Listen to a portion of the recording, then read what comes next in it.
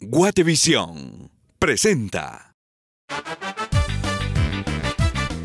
Hoy, en un show con Tutti. Si tus clientes están jugando a las cartas en el restaurante tal los jueves por la tarde, ¿dónde tienes que estar? Pues en el restaurante jugando a las cartas Claro, con ellos. claro. Cuando tú intentas vender tu producto a todo el mundo, lo más fácil es que nadie te lo compre. Eh, como siempre digo, es mucho mejor, más rentable y más rápido ser cabeza de ratón que cola de león. Muy buenas noches, queridos amigos y amigas. Bienvenidas y bienvenidos a un show con Tutti. Un gusto estar nuevamente en sus hogares, llegando siempre para compartir temas muy interesantes. Y el de hoy no es la excepción. Déjeme contarle que está con nosotros esta noche Roberto Cerrada. Desde España ha venido a nuestro país para poder impartir unos talleres sobre marketing digital y ventas por Internet. Nos lo robamos unos momentos para poder trasladarles a ustedes toda la información que seguramente será de mucho interés y de mucha utilidad. Bienvenidos.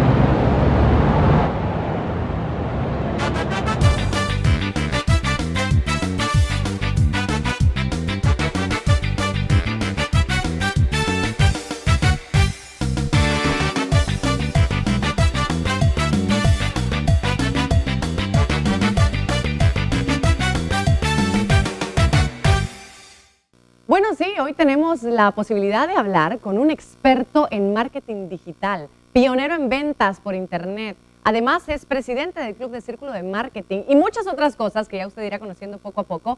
Esta persona, este personaje que pronto estará en nuestro país eh, impartiendo talleres y va, ya me prometió que va a venir en otras ocasiones, así que lo estoy comprometiendo al aire porque vale la pena que todos, mm, ya que el mundo está apuntando de alguna manera hacia lo digital, hacia el Internet, toda la vida se desenvuelve en este lugar y no sabemos muy bien cómo desenvolvernos. Los niños sí, nosotros los adultos todavía no. Así que por eso me da mucho gusto presentarles a ustedes a Roberto Serrada. Roberto, ¿cómo estás? Bienvenido a Guatemala y al programa. ¿Cómo te va? Ah, Muy bien, muchas gracias. Un placer. Roberto, ¿qué deberíamos conocer? Bueno, es, es obvio que todo ha cambiado muchísimo y que esos conceptos de comunicación variaron completamente hacia el Internet, hacia los celulares inteligentes, etcétera. Que los conceptos de negociación han variado también, que los conceptos de tiempo incluso han cambiado. Totalmente. El de marketing también. Sí. ¿Cómo, ha cómo has visto tú esta transición? Pues mira, en los años 80, que es cuando el marketing tradicional tuvo el mayor desarrollo, había una fórmula que funcionaba siempre. Y una fórmula fantástica, porque siempre funcionaba. ¿Quieres saberla? ¿Sí? ¿Te la cuento? Sí, por si acaso digo. Pues la fórmula era tener una propuesta de ventas, una oferta. Ajá. Si a esa oferta le añadíamos la cantidad suficiente de promoción y publicidad, conseguíamos ventas.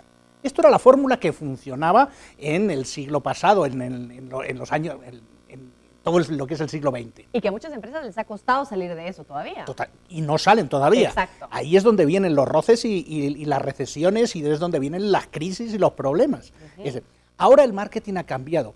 Ahora el marketing tiene una fórmula diferente porque ya no es posible, ya no es posible alcanzar con, con nuestra promoción, nuestra publicidad a todo el mundo y sobre todo motivarle. ¿Por qué? Porque el consumidor ha, deja- ha- subido su cultura, ha subido su nivel cultural y entonces ya no se masifica, sino que se in- individualiza. Lo que significa que si bien antes todo el mundo tenía los mismos gustos y los mismos... eh, es decir, quería lo mismo, Exacto. ahora cada uno queremos una cosa.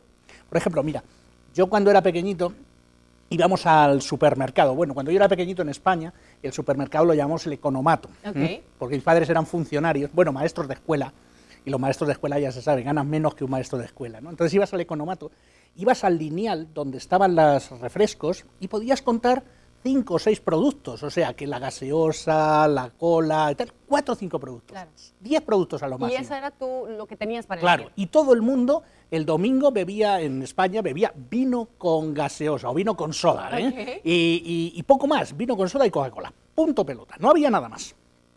¿Qué pasa ahora? Yo invito a todo el mundo a que vaya a un supermercado al lineal donde están los refrescos y yo he llegado a contar más de 550 Wow, sí, productos. ¿Esto es caprichoso? No. Esto lo que se da es que eh, lo que pasa es que el mercado se ha diversificado. Hay Es más decir, competencia, hay más especializaciones, etcétera. y sobre todo que, lo, que queremos ser individuales, que queremos cosas diferentes de los demás. ¿Qué ha variado? Eh, precisamente que lo que están haciendo es llegando al corazón realmente, no a la mente, no a la necesidad, sino a un concepto con el cual tu corazón se llega a identificar, con el cual adoras la marca más que el producto incluso. ¿Podría ser así? Totalmente, y además es que las ventas son emocionales, compramos por emoción. Tú vas, vas a una tienda y ves en el escaparate un bolso maravilloso ese y dices, ¡ay, qué bolso!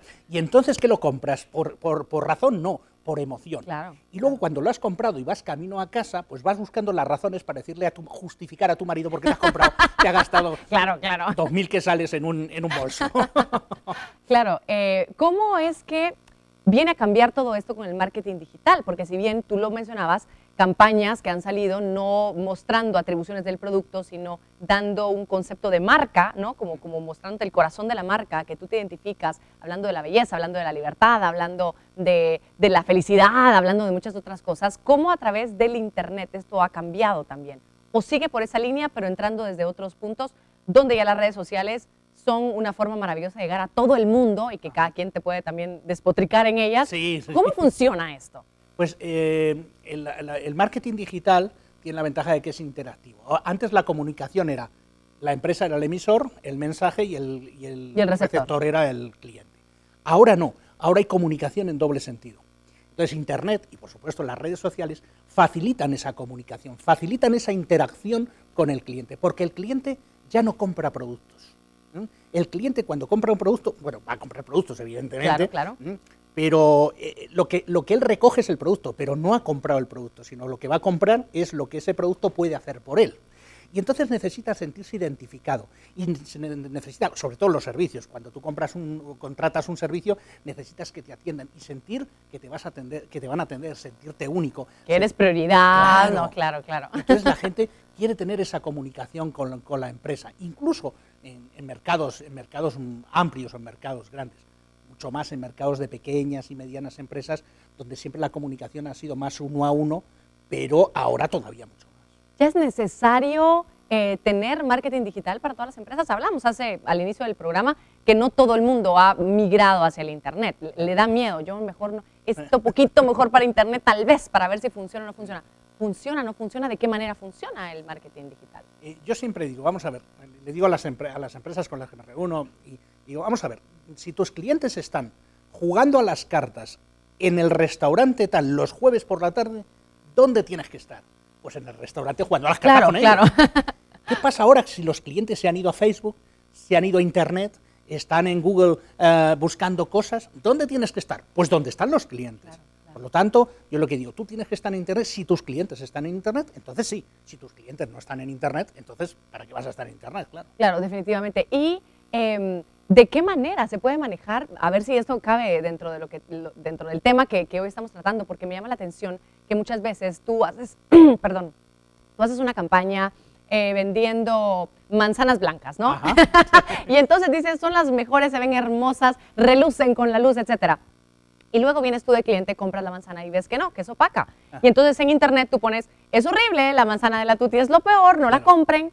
¿Cómo se maneja eso de donde en una campaña sí te hago sentir, pero el producto ya cuando tú tienes la experiencia ya no funciona y entonces viene un, torrente de críticas, de señalamientos y te, y te pueden votar la campaña? ¿Cómo se debería manejar adecuadamente una campaña para que realmente pues sí cumplas con todo y, satisfagas al cliente? Yo creo que lo primero que la empresa tiene que ser honesta y hoy la integridad y la honestidad es fundamental. Eh, al final lo que la gente no va a comprar son las manzanas lo que va a comprar es lo que esa manzana va, va o, en lo que esa manzana le va a ayudar o le va a cambiar la vida. ¿Como en una experiencia tal vez? Sí. lo que compramos son experiencias, fundamentalmente compramos resultados. O sea, ¿por qué me compro un coche de alta gama?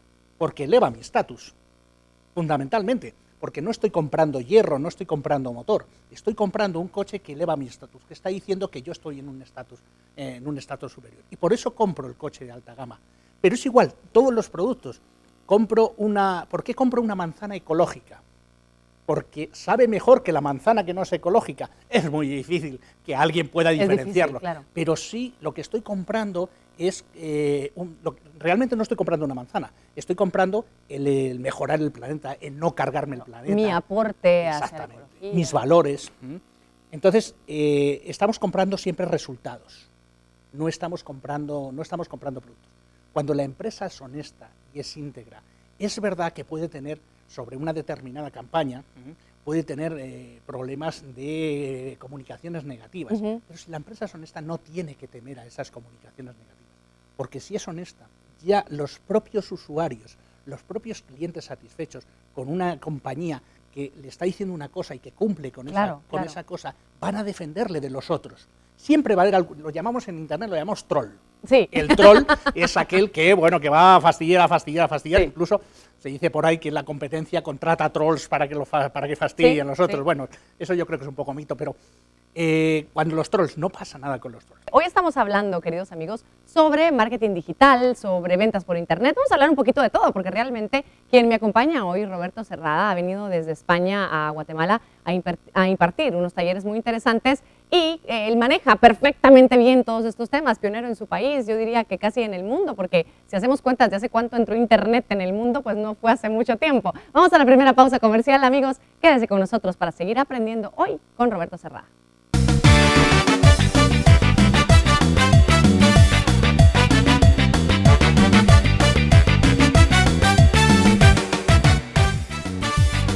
Al volver.